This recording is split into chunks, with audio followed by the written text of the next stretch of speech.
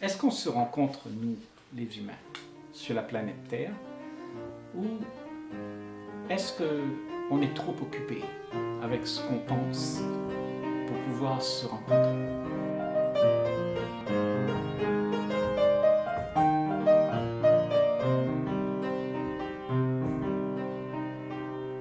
On pense, on pense, on ne fait que penser. Et nous sommes occupés avec nos propres pensées. Et dans cette occupation, il n'y a pas de liberté, puisque tu es prisonnier de ce que la pensée te propose. Donc tu es toujours occupé. Et tu vois, l'art de se rencontrer dans la vie, c'est de ne pas être occupé. C'est-à-dire d'avoir la, tête libre pour accueillir ce que l'autre est en train de te dire. Si tu n'es pas prête ou prêt à être vide euh, de toutes tes conclusions, de toutes tes histoires, de tout euh, ton vécu, de toute ton expérience, et que tu essayes de le refoguer, de le mettre sur le tapis à chaque fois qu'il y a une discussion, alors il n'y aura pas de rencontre. Parce que la rencontre se fait seulement quand il y a un silence en soi et qu'on peut accueillir. Quand il n'y a pas le brouhaha de tout ce que tu veux euh, mettre en avant. Et la plupart d'entre nous, on a toujours un truc à mettre en avant. On a toujours notre petit mot pour placer euh, dans la conversation. On attend euh, que, avant que l'autre n'ait fini, on a déjà la solution, on a déjà le mot à dire.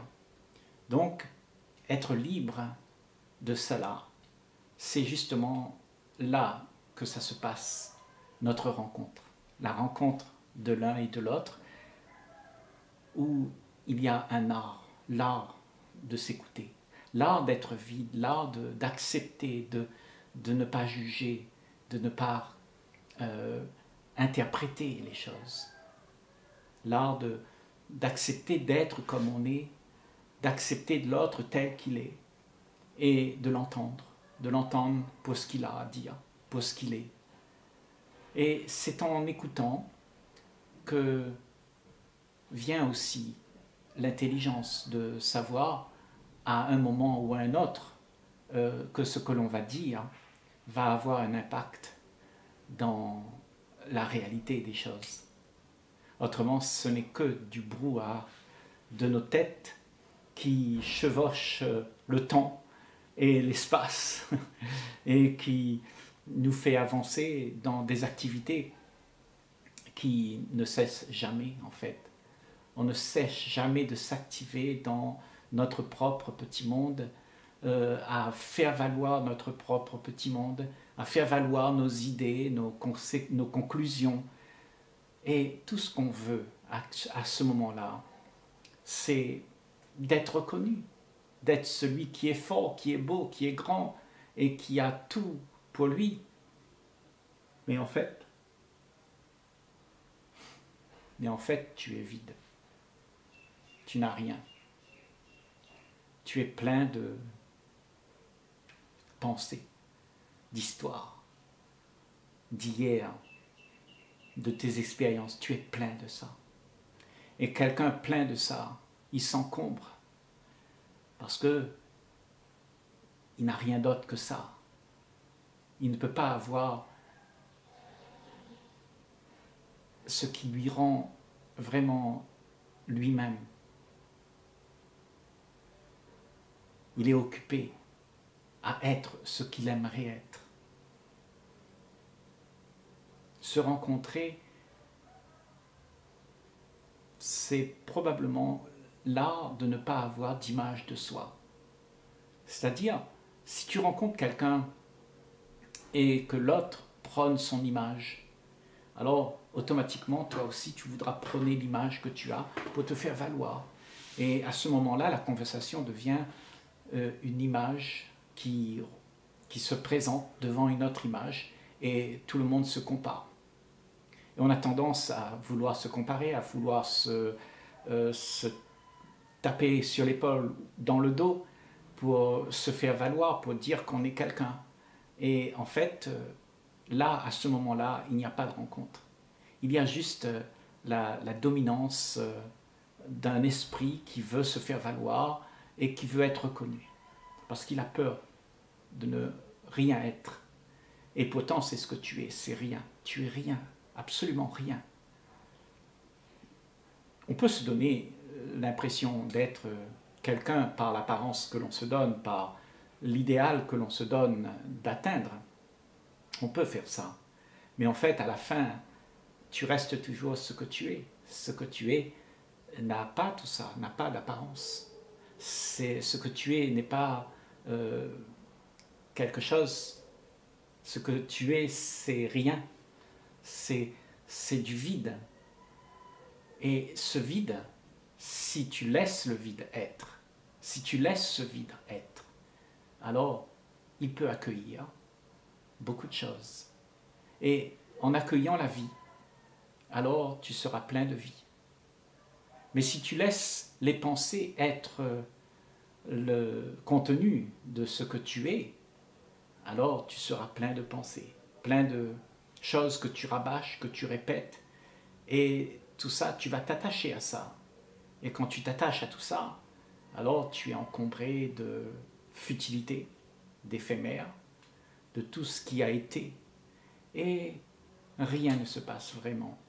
Parce que tout ce que tu es à ce moment-là, c'est ce que le passé propose. Mais là, on parle d'un être qui est libre, libre de tout ça, qui est vide, vidé de tout ce que la conscience propose, vidé de tout ce que le passé propose, vidé de l'envie, du désir, vidé de tout ce que on voudrait faire exister pour se sentir bien, pour se sentir en sécurité, vidé de tout ça. Alors à ce moment-là, l'esprit est libre d'être, d'être vide. Et à ce moment-là, ce que tu es, c'est cela, ce vide. Et dans ce vide, il y a une capacité extraordinaire à toujours avoir quelque chose de neuf. Il n'y a rien qui se répète parce que tout est neuf, tout est fait d'instant en instant. C'est un, mouvement qui se meut et qui n'a pas de commencement ni de fin. Alors tu es libre d'être ce que la vie propose. C'est-à-dire ce que tu croyais être n'est plus là.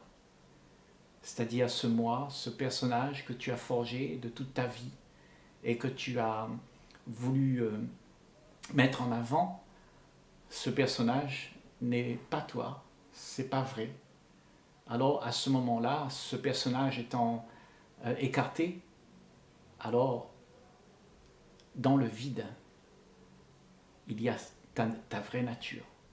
Ta vraie nature se, émerge. Ta vraie nature se manifeste dans le monde. Et cette nature est en premier lieu l'ordre que l'univers propose. Cette nature de toi, c'est la vie, c'est la clarté, c'est un esprit qui est libre de tout ce que le passé propose. Donc, ton esprit libre propose la vie, propose la joie, propose l'amour. Et un esprit avec tout le mental qui est, en activité, un esprit encombré de ce mental que nous avons tous euh, ruminé. Parce que le mental, c'est quelque chose qu'on rumine. On l'apprend, des choses, et puis on rumine, on le répète, et c'est toujours pareil, c'est toujours la même chose. On n'a pas le temps d'être. Le mental, c'est faire pour être. Mais quand tu fais pour être, ce que tu as quand tu fais pour être, ce que tu es à ce moment est faux. Parce que être, ça ne se fabrique pas. C'est quelque chose qui est. Tu ne peux pas fabriquer l'être que tu es. Il est déjà là. Mais il semblerait que toute une vie, on te demande d'être ce que les gens aimeraient voir. Donc ce que les gens voient n'est pas vrai. Et ce que les gens voient, c'est rabâché, c'est valorisé, c'est euh, promu devant, euh, avec insistance et avec violence même, parce que cette entité veut être reconnue dans la confrérie des conformistes qui a fait ce monde et qui a décrété que le monde devrait être comme ça, comme ça, comme ça. Les comportements devraient être euh, euh, comme on, les a envisagés, comme nos conclusions nous le dictent. Mais ça n'existe pas. Ce que tu es, c'est du vent quand tu penses. Quand tu penses être quelque chose, c'est du vent. C'est pas vrai. Mais ce que tu es est vivant, là, maintenant. Parce qu'il n'y a plus le passé, il n'y a plus hier, il n'y a plus demain, il y a juste ce que la vie propose. Et la vie, c'est une manifestation de ce que tu es.